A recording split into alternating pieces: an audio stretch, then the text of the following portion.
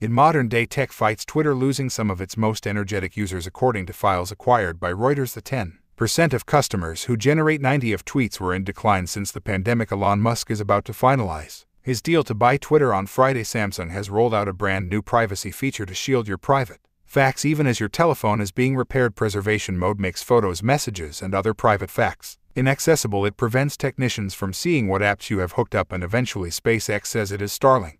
For RV satellite net carrier will be available for transferring motors starting in December. Right now, it's far intended for desk bound motors in remote places like campsites. The brand new carrier will price 2500 greenbacks earlier than a monthly $135 rate. The ones of your tech bites have a high quality day.